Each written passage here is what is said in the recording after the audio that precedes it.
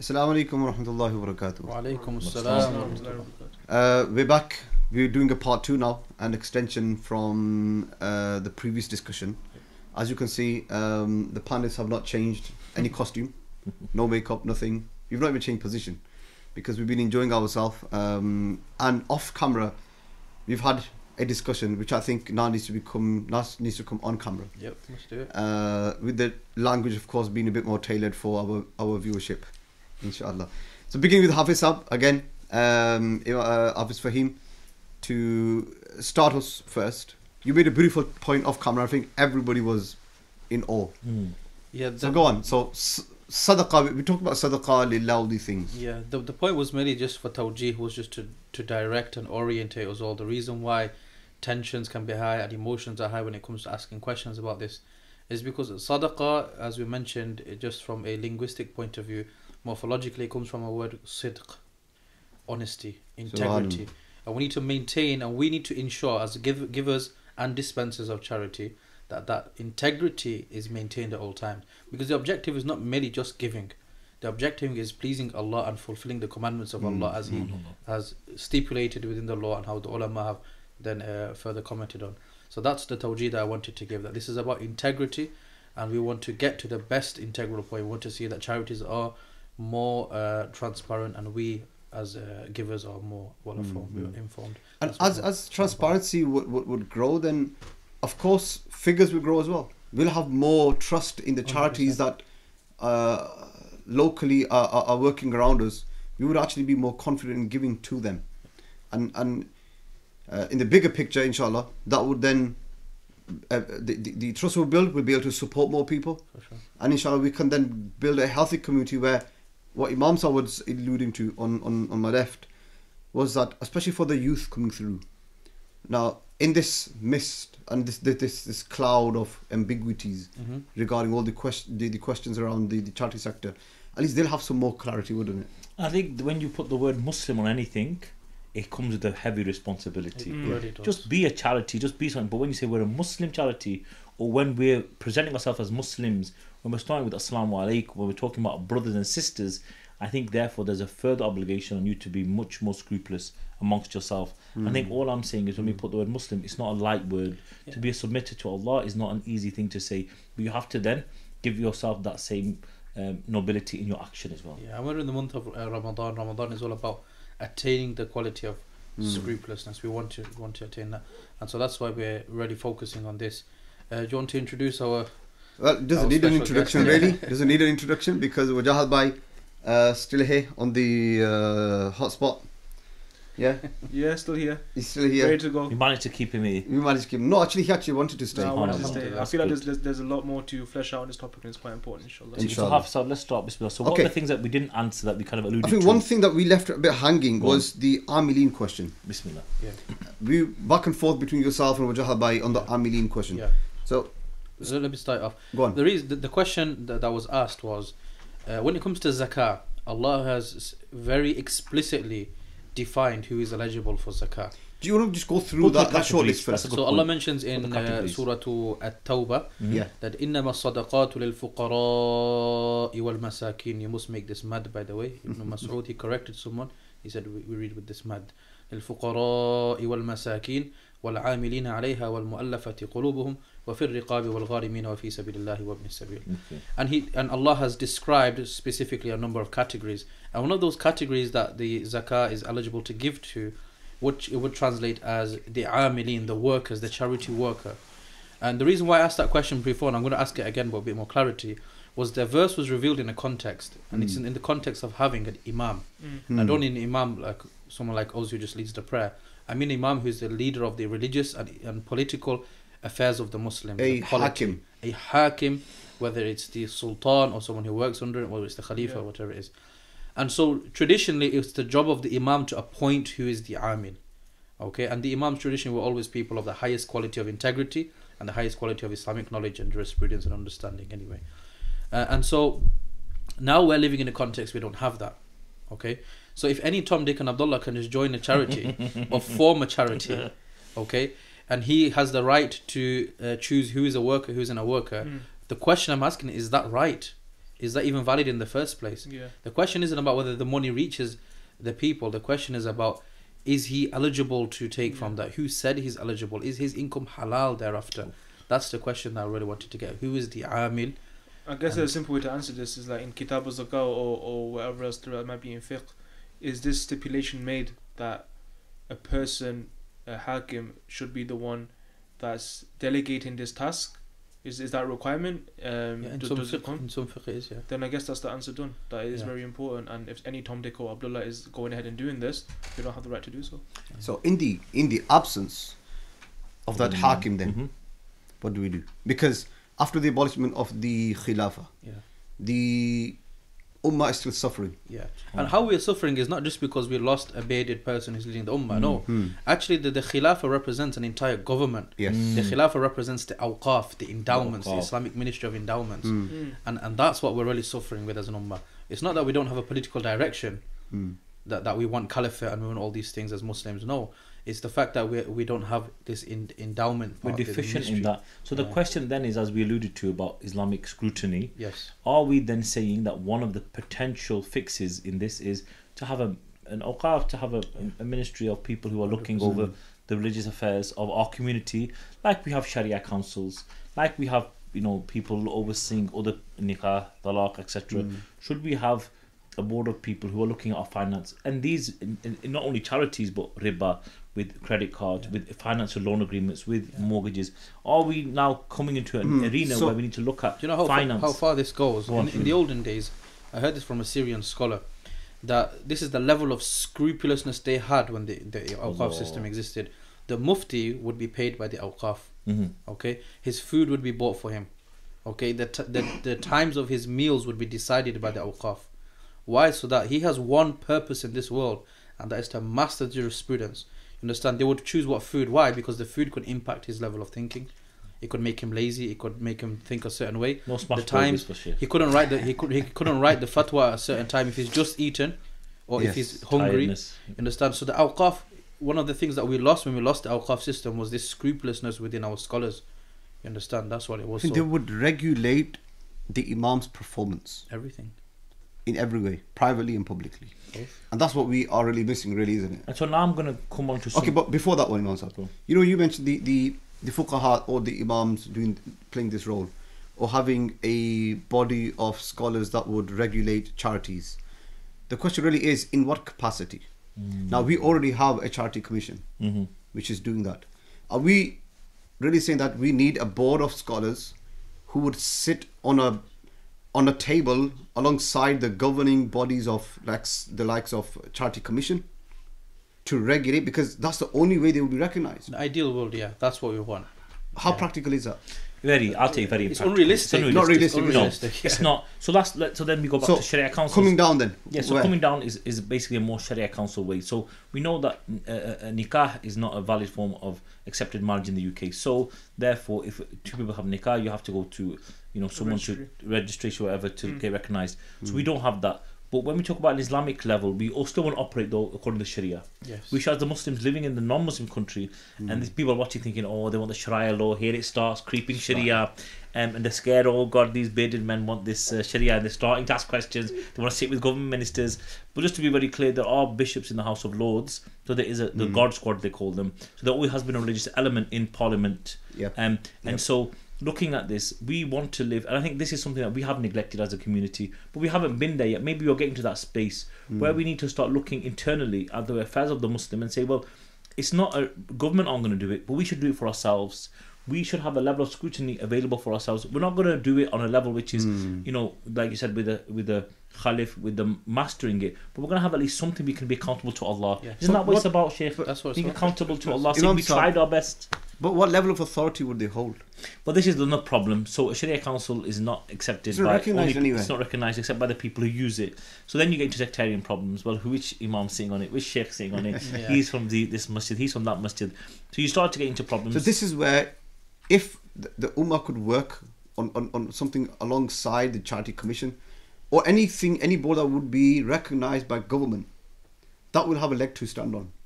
And then when they speak, it actually speaks for everyone, and everybody has to then abide, and they are held accountable. No, I think. Look, I I, want to say the charity commission. Look, looking at the way they operate, it is semi scrupulous.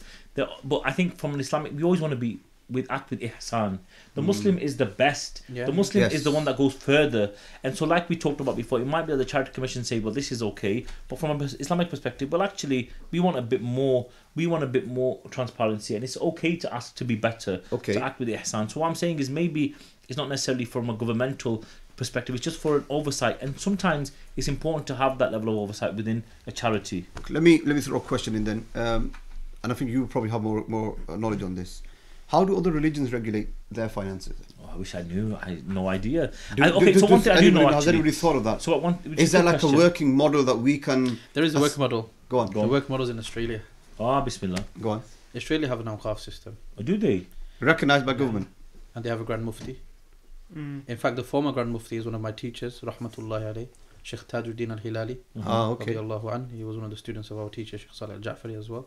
And one of the the most positive aspects of, of what they do there is the Awqaf announced the moon sightings. so that's another out- outcome of it as well. Okay. So Australia do have these things, and they have managed to find a balance between what we can say a secular society and Islamic law and incorporation. Mm. Is it the Australian Fatwa Council? Yeah, the Fatwa Council. Yeah, I've seen. I see it here. Well, they recognise I mean, by they- a lot of the. The, the Imam has always been an Azhari scholar. So I see over here before Ramadan they announced the nisab for Yep, zakat and yep. also They announced the the nisab. zakat al-fitr amount as Yeah. well. So, um, So these are the I mean, benefits. Australia being an extension of UK. But but um, just to remind you, we do have the same thing for Europe as well. which is And European the Fatwa charity I used to work for was advised by uh, one of the members there as well, European Fatwa Sheikh Sheikh Abdullah Al Juday. Yes. So he's the one that would sit down with us and give us the zakat uh, workshops and Yeah. He well, would- that, he well, that's he the thing. vet- we don't want to make it personal. these With things. Sheikh Al-Judai, he's he's not respected by many many other scholars. this as is this well. is the thing. he So follows the uh, minority. could you not could you not and say the same thing on Australian Fatwa Council as well? or Any of Probably. Fatwa The, councils? the Fatwa Council Australia, they elect imams from Al Azhar University, which is an authority in Islamic uh, knowledge. In the That's- Muslim world, yes. yeah, that's another thing. Yeah, in the Muslim Mm. world. But these are the challenges. There's going to be definitely challenges, but we Mm. need to work towards something. Is what you're tr- trying to allude to. uh, Yes, I think what we're trying to say is, should we always want to act with the with the best? I think one of the positive. I mean, we'll talk about the positives of the um, sector shortly, but I think just getting back to this idea of scrutiny, just because you know other people aren't watching us, we should want ourselves to be better. Definitely. And and I think one of the things that we're saying is, I don't have any um, objection to anyone who's scholarly to come in and look at the books, to come in and ask questions. But all charities doing that regularly, and I think it's something that we should be encouraging them to do. And if they do do it, then alhamdulillah. And if anyone's not doing it, then maybe there's something they should consider. And we have a working example of that in our Sunni community, Yep. most famously Dawat Islami.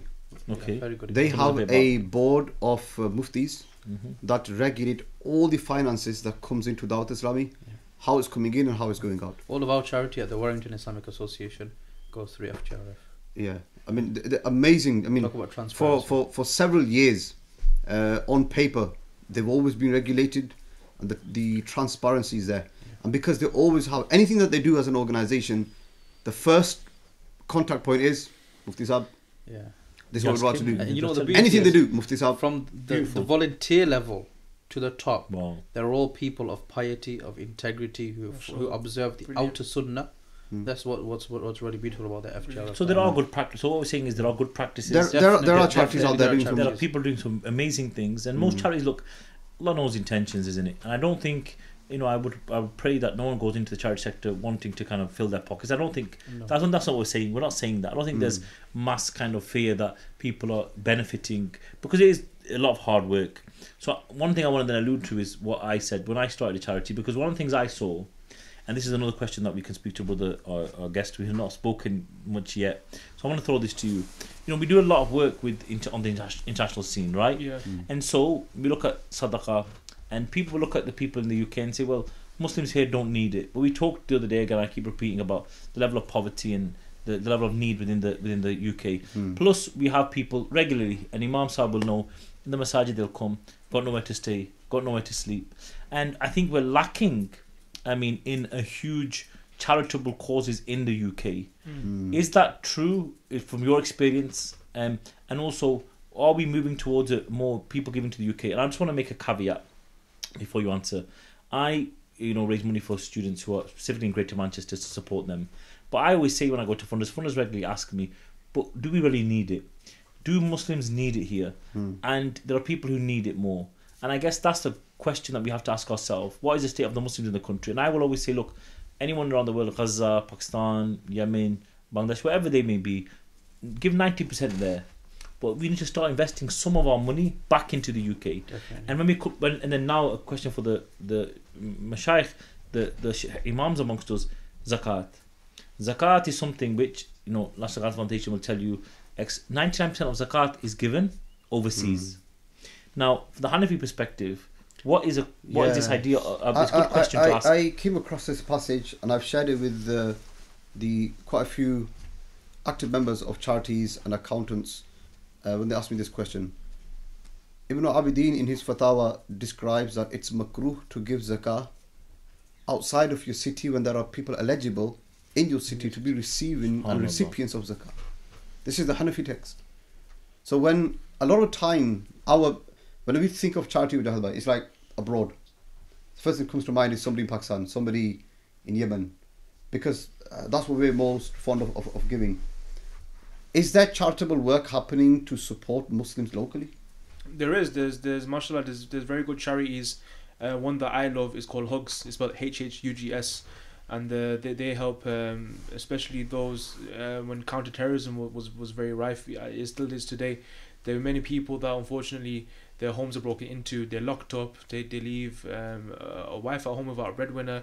The child has PTSD, wet in the bed every time he has a, Allah, Allah, a, uh, a police siren going off outside and she she doesn't can't even afford fixing the door hinges now after the police broke in this kind of stuff so um, Wow. Hugs is doing amazing work to, to help you know um, minority communities like that mashallah.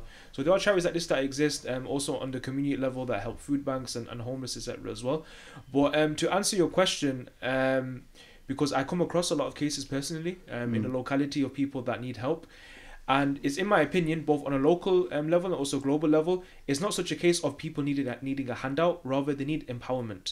Uh, what i mean by this i'll give one or two case study examples one is this there was a, a gentleman who came across my way through a, a mutual friend who was struggling to get his permanent residence inside of the uk after being here for about um, 10 years or so um, so I think that would affect him in terms of like um, insecurity of knowing if he's going to get deported back to his home country or if he's going to be able to stay in the UK. He's building a life here. He's got a wife who's a bit unwell. He also has children too. So his case came to my table, and then he said, "I need four thousand pounds for uh, one thousand pound for the legal fees Mm. and three thousand pound for the application process itself." I said to him first and foremost, "Why are you paying one thousand pound for a form to be filled out? You can do this on your own." Or I can probably find some a lawyer to do this pro bono for you as well. Mm. The second thing is, worst case, you can't pay for this fast fast track to get your residency um, for, um application done. What's gonna happen then? He said, "Oh, I have to wait about ten months then." Then I said, "Brother, I'm gonna be honest. I don't believe too much into your case." I said to him Mm. straight, I said, it's gonna be very difficult for me to fundraise for your case. I think there's easier ways for you to go about doing this. Subhanallah, two to three months later, he gave me a call. He said, he said, watch, um, I took your advice. I did the form myself, and my application's been accepted, and I have permanent residency in the UK, and um, I can go apply for real work and this kind of stuff. Sorted. I'm going to say something probably a bit controversial that Mhm. some people might not like, and I go back to what I was alluding to. How can we Mm. sit here looking at the state of the Muslims and say there is no need here? We initially look. People came to this country in immigration was uh, f- uh, not all, but a lot of financial immigration, with the intention that economic migrants, with the intention that we come here, get some money, वापस भेज दें, go and buy some. How many Pakistanis still buy land? How many people are still building a life back home that their children are saying, well, that's not back home for me? At what point are we going to have, as a Muslim community, to say, you know what, we're here now, we need to establish ourselves, But we need to be the best? Why am I still seeing levels of poverty that are unacceptable?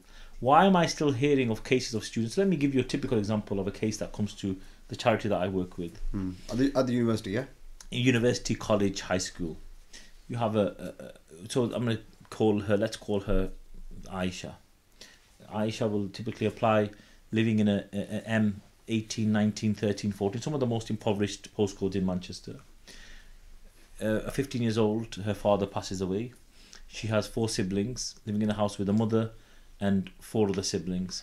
Her mother is traumatized by um, the loss of her husband Mm-hmm. doesn't work. Father was the breadwinner. Yes. Now Aisha has to now get a Oh, job no. when she's uh, working in college or, or university. um, half of her wage goes to the family to pay for food. Um, you know, people say, "Oh, but government, the government." Let me tell you something about government. People will say, "Oh, the government give money." It's not enough, and I think this idea that benefits, benefit fraud, benefit, benefit, benefits are not covering money anymore. They're not covering even food. That's why we have so many food banks. And so then the case will be she'll come to us, I have to go to university, I have to travel, I have to maybe walk an hour and a half a day, an hour and a half back. I work on the weekends, and now my laptop's broken. I can't do work, or but I can't travel, and it's causing a lot of stress for me, and it's causing me anxiety. I've got exams coming up, and I need to cut my work. When you hear these stories, well, I was sat there and I was in tears. We have, you know, No, no, alhamdulillah, iftar every day at the university for three, four, five hundred students. People are struggling, and I guess what I'm saying is, as a Muslim community, as the Muslim charities, I implore that we start looking at more and more UK-based projects. And I think we need to really understand the level of demand and need for zakah and um, zakat and uh, sadaqah and some of the supporting us. Because what I'm saying is, these are the future leaders. Our youth are the future, Yeah. and if we can empower them, they will be the future sadaqah givers. They'll be the future zakat That's givers, it. and this will then benefit the uh, ummah around the world. It. But I feel like we have, as a Muslim organized charities, neglecting the the country we're li- living in. Yeah. Why is it that we don't have provision for homeless Muslims? Why is it that we haven't got provision for X, Y? Why are we always outsourcing them? Why is the masajid the only place that people can go to? And let's be honest, they can't do everything. How much more uh, um, can you give? But when the charities are sucking up the money of our community, when they're taking from the pockets, at what point are we going to start giving back to the people who are here? Yeah, Yeah, like that's someone said to me that there's there's so much money going towards Gaza, but not all of it's getting in. Mm. Understand? So you're right. Charities are taking more for projects. It's not even reaching there in the first place. Why not we Mm. divert some of that Yeah. back to? I bump into somebody home, almost every week at MCM. Imam said, "This is my situation. Not going anywhere to stay." Oh yeah, yeah. I was with my family, uh, with my mother, uh, at a local supermarket. And I saw a brother just wandering around the car park, just wandering. He saw me with, with the topi on, Islamic attire. He didn't know that I was the Imam of the masjid. And he goes, I've just come, and, I, and he asked me, look, is there anywhere to stay? I said, look, let me ring around and find out. And then he, he asked, which masjid you going to, uh, is, is there any masjid? He said, that's the first question he asked. Is there any masjid that could allow me to stay? Just for tonight Where was the brother from? from Egypt. Okay, and then I said, look, he said, I said, look, you don't know me, but I'm actually the imam from the masjid. So let me ring somebody's there. He goes, I've just come from the masjid. And everybody has said, look, there's nothing available at all. And that guy was shivering in the cold. So I rang a few people, the, the, the few figures we know in our community, nothing available. So a lot of, so another issue we have, of course, you know, the hype of just getting to the UK, Mm. Which is another whole discussion on its own. not- just somehow just get to the UK and then we'll You'll deal make with it. it. You'll make it. Yeah. Yeah. but once they actually land here, they realize there's nothing available here, And it's Yeah. cold. and it's cold. it's freezing cold. And I mean, uh, living, work, everything. Look, we as a community are suffering as well. Just like the entire globe, globally, there's there's a um, what's the word I'm looking for? A crisis. Mm. UK is going through the We crisis also had as a well. figure about number of Muslims living in poverty in the UK. Go and share, share those figures. Thirty-nine. So the, the the thing with this now is because uh, like like I said, so cases come to my come to my door, right? And I realized that because we live here, we don't just necessarily have to give them money and say, okay, go sort yourself out. Rather, it should be a system where we're able to empower them, get them back onto the right track, and, and this kind of stuff as well. Mhm. So what what one of my dreams is, to be honest, um, I, I wish I would have the time to start this. Maybe I inspire someone out to do, do it themselves. Is be that focal point, be that contact point where you can at least get someone started. Maybe get them a bank account, get them on, on benefits at least to begin with. We're talking about extreme cases, not like the one that you mentioned, so that we get some money into the account. Maybe we can analyze what skills they have and Mm. get them, you know, working again. Like the brother I mentioned before, I asked him what what skills and stuff he has. He goes, "I'm actually an accountant." Then I go, so why are you working in a hotel as a receptionist then? He goes, it's quite hard to find work. I'm like, bro, just get onto your LinkedIn, spice it up. Maybe you can get um, work to do from home so you can look after your wife as well. It doesn't restrict you having to work just on the weekends. Is that this is the kind of knowledge that people need. They need that empowerment. So Mm. this is really the, the avenue that I want to go through. And also addition to that as well, uh, many people contact me saying, "Oh, watch, I've got I've got adult diapers or I've got um clothes I want to send to Gaza. Can you facilitate this?" I say, "No, it's, it's very difficult to get aid into Gaza in the first place, let alone figure out logistics to send your stuff from here Hmm. all the way to Egypt, to then then to go there." I go, but here's the number of a sister who's mashallah running a local charity over here, where she's diverting the things that you don't need to people that are, that are in need, whether it's, it's furniture or it's baby clothes that, that kids um, grow out of in, within the space of just a, a few weeks. Um, stuff like this, which we would say is useless to us now, is very useful to someone else. So absorb it into the community. And what I would encourage everyone to do that doesn't want to take on this kind of Amir position is become the Amir of your street in itself. Mashallah. How often do we go to our neighbors, knock on to? I'll be honest, like I'm Mashallah, speaking of first, myself first and foremost. I don't know past three three houses from my house. I don't know who lives there. Subhanallah. But it's actually the non-Muslims in my community that set up a WhatsApp group uh, as like a bit of a home watch, saying, "Oh, someone's alarm's going off. Is everything okay?" Or saw an ambulance over here. Um, um, a, a Amazon driver hit my car. Did anyone see it? Then they post in the Wow. what do you call it? The rings. The Amazon rings to to send video evidence of what happened, so they can report it. All this kind of stuff. This is what we need for every single street. Start just on your street itself. See who's living there. See what people might need. You know, give them a cup of sugar or something like this. This is where we need to start. When we say charity starts at home, start in your own house. Then start with your neighbor. But Rasul Sallallahu It's facts. it. It's facts. He is not a believer who goes to sleep with his with who goes While to his sleep belly is full. while his uh, belly is full and his neighbor is goes hungry. That's it. He is not a believer. This is something which we have to understand the essence of what it means to be a mu'min, to be a Muslim, to be a believer. We say it, we'll easily give 10, 20, 30 pounds to someone, but we won't even look at the guy next door to us. And sometimes it's quite shameless. I live, um, you know, where, where, where I am, there's a brother who, mashallah, subhanAllah, I saw him today, and he does everyday food banks. Every day he says, on Saturday, three, 400 people are coming.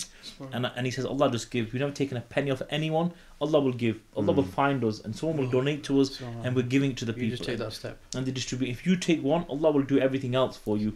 We have to make some effort. We have to support each other here, and absolutely we need to give to our brothers and sisters all around the world who are suffering. May Allah ease their suffering, inshallah. Mm. But we have to also look at the people that are around us. And I'm thinking we need some of us. Some of us need to have a spotlight on our communities because the reality is, Imams, we're the ones who are facing the people every single day, mm-hmm. and we need that support as well to be able to to mm-hmm. help yeah, there's them. been times when people knock on our doors and, and you're, you're stuck as an imam. Like, who do I actually call now? I've got nothing.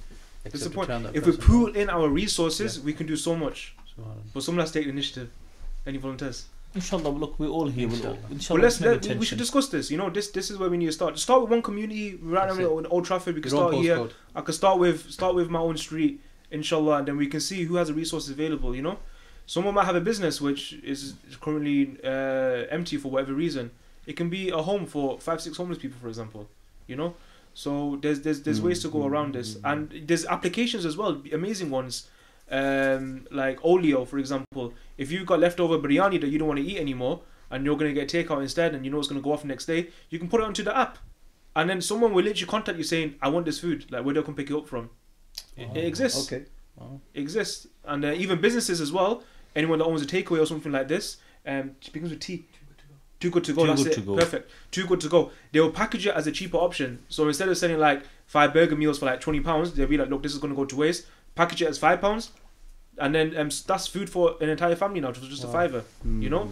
So these, these solutions do actually exist. We just need to popularize them, inshallah, Yeah. and also start working together as a community too. You know, we, we know, for example, you know, Sayyid uh, Zafrullah Shah from Birmingham. He has a uh, food bank, 24 hour food bank. So what he does is the local uh, wedding halls or banquets, food that that's left, left over, rather than throwing that away, or restaurants that cook fresh food on a daily basis. So from the previous night's sales, they've not made enough, or they've got uh, plenty stay, uh, left over. They he would then have people that would come and drop the food off to him. He then packages it or leaves it in a in in, in an um, outdoor f- fridge freezers Mm. where people just bell him, and he quickly heats it up, and then gives it to the homeless. Mashallah. And Shah Sahib is doing some incredible work. In fact, his is the only food bank, bank which is running 24 hours in the UK. Wow. Anybody could ring him, even 3 a.m. And, and he's got you know that, that, that doorbell system where you ring the bell, straight away his phone rings. Mm, Like some- the somebody's ring- on the ring- door. Yeah, the ring. Yeah, ring. yeah, He, he, he lives two minutes walk away from the masjid, Mm. from, from where his centre is. visit. Walk across, heat it up, here you go. I think this is what we need to also focus on. There's so much good work being done by our community, alhamdulillah. You know, But, there but is- we need more of it, of course. of we do, of course. Look, we can always be better. We can always do more. we If could- we start with just food, for example, that's one big worry of people's minds. Mm. Like it costs us hundreds of pounds a month just to keep our bellies full. You know, Mm. if we can if we can take away um, that worry from people, then that's at least one place that we can start. Then we think about clothing, you know, furnishing, all this kind of stuff. energy, energy. I mean, energy. People, uh, you know, we call it energy poverty. But, you know, people are not able to heat their homes. Yes. People are, you know, sitting in their houses with their coats on because they can't, you know, uh, put the heating on or the lighting on. And I think Yes, these, salam. when we get to this stage, I think we have to ask ourselves a question: Where have we become You know, as an you know, subhanallah, I bought an electric blanket like a year or so ago. Apparently, it costs like one p per hour to keep that thing on. And if eh, you know, there's a there's a saying that instead of heating the home, heat heat yourself. But someone might not have like 20, 25 pounds to buy an electric blanket. But if you can provide that to them, that's a whole solution in itself to keep someone warm at night. Mm. Mm. So I the think masajid do need to up their game Definitely. uh, in order to how, how they can actually give back to the community and putting a, a prophetic touch to it. Messenger alayhi salatu wasalam migrated to Medina Munawwara. What's the first hukum? Afshu salam. wa atimu Atimu ta'am. ta'am. And if we use that, honestly, there's so many people that come close to Islam through charity that, that Muslims give. And if you're filling somebody's stomach or a family on a daily basis, imagine the number of people that are you actually appealing with just that religious uh, incentive. Yeah. And then you it, it opens room for having discussions. So they'll ask, why are you so charitable? Then you bring this hadith and you bring in the character of the Prophet. Sallallahu Alaihi Wasallam. You, you slip in a, a translation of the Quran, and before you know it, they're well on their way. Huzur, what's the, what's the concluding message that we're giving to the people? I think the, the, the concluding message, one, one extra thing before we conclude. Uh, I wanted to personally hear from Wajahad Bhai from some of the recent travels he's done. Yep. Uh, and also, so inshallah, highlight the positive the work that's, that's, that's gone on as well. Of course, we, we've scrutinized charities for the last hour and a half quite a bit. Uh, that's why Wajahad Bhai has been, been on, on the hot spot. But in terms of, of on ending on a positive note, Mm. the type of work charities are doing and some Yeah. of your own experiences. Subhanallah. Yeah, of course. Um, you know, it's very important. I mentioned this before as well that when you go in to help people, it's not about a savior complex. It's not about your ego. If anything, it's a beautiful act of worship. Like Subhanallah, I think I heard Mufti Menk say not so long ago that you be thankful for poor people because they have given you this opportunity of a unique form of Oh, worship yeah. and giving a sadaqah to them. Subhanallah. And um, you know when you when you go on these trips, it's more about what you're receiving in return. Especially when you go in places like Lebanon or to Syria border, and you're hearing from some of the most oppressed people on the planet. The Hadith um, says, what Prophet Sallallahu Alaihi Wasallam said, that there is no barrier between the dua of the oppressed person. Doesn't matter what their religion is, even Mm. no dua, no hijab between that oppressed person and Allah Subhanahu wa Taala, except that dua is answered. So when you're going and you're giving them a food pack, for example, and you're giving them the ability to uphold their pillar of siyam, and you're also, of course, mashallah, giving you a zakat and upholding your pillar there as well, then know that every time they're opening the the, the rosa, every time they're opening up their fast, and they're making this beautiful dua from the fasting person, and also that on top of the fa- of the oppressed person as well, you are the one that's in the duas because you gave them this ability to uphold the pillar of siyam, which is absolutely incredible. So this is extremely um, important is to understand that the power of, of your zakat, the power of your sadaqah, the power you're able to give um, the people as well in, in empowering them, and uh, what you're receiving in return as well. We talked about calamity before and, and how um, sadaqah can save you from that, which is absolutely amazing. A couple of stories from the field, I guess. Um, Subhanallah, it, one of the ones is actually from Togo, Africa. Um, on one of my first first trips there about a year and a half ago. Um, we went uh, into the field uh, an hour or so from, from the main city, and when you go just half an hour out, Maureen was there with me as well. You start noticing people are already carrying, you know, the containers on their heads. They're going to fetch water. They're living in not the best homes, and slowly, slowly gets worse and worse to the point where it's like mud huts and like there's stone ages. There's no Wi-Fi, electricity. There's literally nothing. It's crazy how people are living. So we went to do a rice distribution, literally a bag of rice into the hands of like um, the community village we had there, about 500 beneficiaries. Um, it was, came to about midday. It was about six, seven hours since we ate our breakfast, so we were all hot and sweaty. We had some food um, delivered to us from uh, one of the restaurants in the city, and uh, for the for the benefit of the beneficiaries, you know, we we went and hid behind our vans, we tried to seclude ourselves so they don't see us eating. Um, so we had like chicken, uh, like a little bit of chicken piece, some rice, some salad, a fizzy drink as well to wash it down, and we all just dashed it all into this bin bag and returned to the field to continue our distribution. Now we went, we did distribution. We were all moving away from the village, and my boss comes to me and says, "Oh, why do you want to believe what happened?" I'm like, "What is it?" He goes, "When all of you guys went back to do the rice distribution, this one African uh, Togolese lady actually came to me." And she saw that we were eating and that we put all our rubbish in in the bag while I was clearing away all the mess. She came to me and said, "Please give me that bag." And he was like, Allah. he was like, no, you know, you don't want the bag. It's just rubbish. She goes, no, no, no. Please give me that bag. because that is food for me and my family tonight. Oh Allah. Talking chicken bones, maybe a little bit of string on chicken on it, and some salad which you would f- feel is just only suitable for the bin now. Someone else's saliva in that food.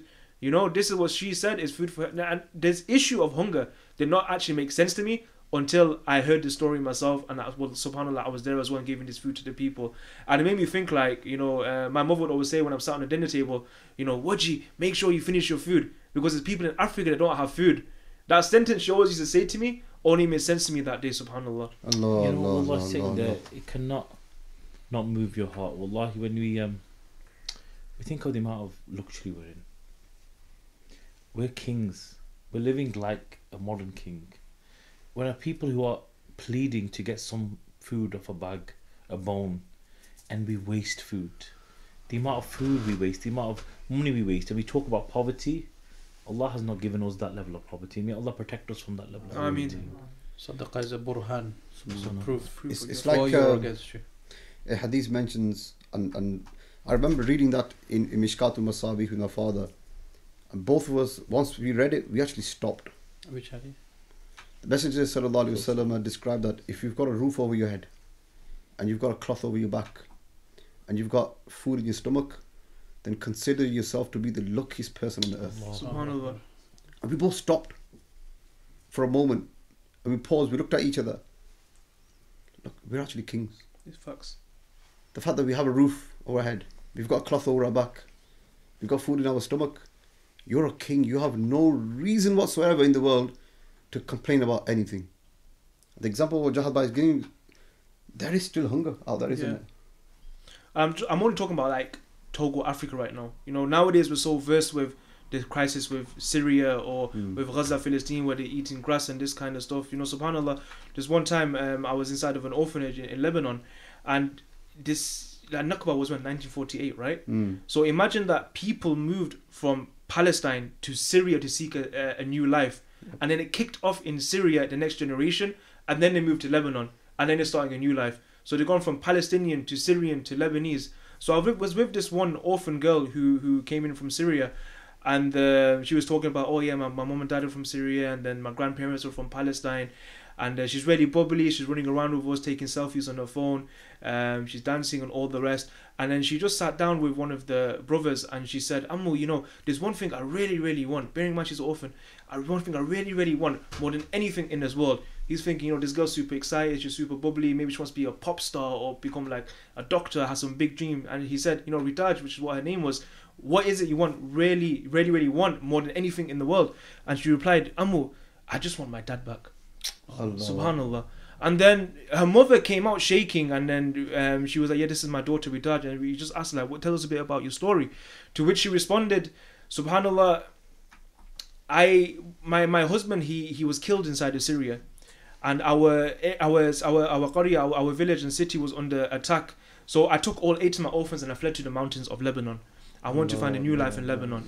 And she said, when I was in those mountains, there was literally no thing, such thing as any relief coming on our, way, no food, no nothing. I just had a few scraps left. And every single day, I had to make a painful and impossible decision. Which of my eight orphans is it that I feed today? Allah. Which of my eight orphans is it that I choose to keep alive today? And in making this impossible decision every single day, five of the children passed away, Allah. including infants. And today only three are alive. And you know, when I think about that Togolese woman that was eating just chicken bones and this disgusting salad and stuff, I thought to myself, this mother who's probably starving herself, she was probably giving food with mold on it. And I've seen this myself when I was in the Syrian camps. This is in Syrian camps now where aid is actually reaching them. I asked my colleague um, Adil just to open the fridge when, when he went to the camp. The stench that came out of it, it will never leave me. Oh. Subhanallah. There was more mold on that plate in the fridge than there was actual food. You know, and wallahi, dear brothers and sisters, you know, for this sister, this widow that lost five of her kids, we as Muslims, we could have been there for her, you know? But we can't be there for the next people. I don't say this to depress you, rather to tell you that, you mm. know, when you see a charity that is reliable, you see a charity that is given the transparency and given the reporting, do not fear giving, you know? Well, we should, and I think it just reminds you of the La verse ilaha of Allah. illallah. فَاذْكُرُونِ يَذْكُرْكُمْ وَاشْكُرُوا لِي وَلَا تَكْفُرُونَ Mm, mm. We should be very grateful to Allah subhanahu wa ta'ala. I think hearing these stories reminds us of being grateful to Allah subhanahu wa ta'ala. Absolutely. The fact that we are able to have what we think is just basic is not. It's the ni'mah of Allah subhanahu wa ta'ala and it's something that we should we should be thankful for every single time we make dua, we pray.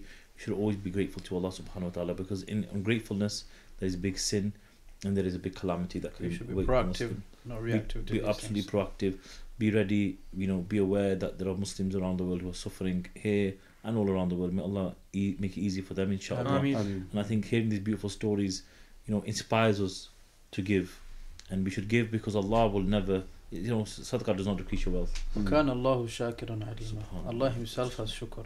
Whatever you do, Allah will not ever go, go to we should waste. always be grateful and we should be thankful and when we do a good deed we should do it for the sake of allah subhanahu wa ta'ala and know that charity does not make you poor. Charity increases you in your wealth. And it's a test. It's a test to say i have so little but if i give a little back then allah will increase me so much more. So, and may allah make it easy for all of us. And may allah um, um, reward all the people who do the good Ameen. works in this life. And brother Mujahid who's going around the world doing all these things. And it's an inspiration inshallah. So I think there are good lessons we can take from this podcast about how we can maybe move forward as a sector as a community and how we should feel but I think subhanallah Hafiz if we end on the I think uh, enough in, enough said. In shakartum la. My own personal experience, um, uh, students and, and some know I run my own business and stuff like that as well. What I've always seen again and again that whenever you've given in charity, uh, hand on heart, uqsim billah, within 24 hours, I've seen more work coming Subhanallah. Brilliant. hand on heart, whenever you've given in the form of charity, maybe as as as little whatever number you want to think of, or as big as as I possibly can, it's within 24 hours, I've had more business. so, It's incredible. Like I said uh, at the beginning of the podcast, charity is from the, the, the those hikmas of that that only Allah knows how it works. We will never be able to comprehend how charity works. Hmm. But having that trust of what Mujahid Bhai is mentioning, not every charity out there is wrong. No. As long as you're doing your due diligence, and, and what uh, Mujahid mentioned in the, in the previous podcast, is as long as you, they being as transparent as possible. Hmm. yes. If they're reporting back to you hmm. after a few months or after a few after a year, you're getting images of that well or those students that have now graduated or have now progressed, then you know that's a charity that you can trust because there's a level of transparency, scrutiny, and reporting. And inshallah, there will be khair. The rest you leave with Allah subhanahu wa ta'ala. Uh, Allah will accept your your your, do- your donations. Ameen. But I want to mention the final point, which is to come back to the sunnah of the Prophet sallallahu alaihi wasallam. Sallallahu alaihi wasallam. The sunnah of the Messenger alayhi salatu wasalam is to give with your own hand. If that is a source that's available through somebody you know, who will then know somebody who will know somebody, and it will get into the hand of someone, for me, adherence to that sunnah is the most prophetic way, most sound way, and it brings most content to my heart. If that's possible in the community, in your community, you you will all know Mhm. that you know you, you give your zakah. Traditionally, what would happen? You would give your zakah to your father. Mhm. Abaji, here's my zakah. Do what you're doing with it. Your father most likely will know somebody back home where you've come from. That you will know somebody there. You will get to them. That is the ideal way, honestly, and that is the closest you can get to the sunnah of the Prophet sallallahu alaihi wasallam. wasallam. And if inshallah, I think afiyah and khair lies in that as well. oh, Barakallah. Thank you, Mujahid Bhai, You're welcome. uh, for getting us all so emotional at the end. And uh, Part three or what? Part three. I don't think I've got the energy after hearing those stories I know. for, for a part three. Oh, sorry. Allah Allah Kind Ta'ala of bless you deaded the guys. crowd. My bad. Jazakallah. Jazakallah. Okay, assalamu alaikum wa rahmatullahi wa barakatuh.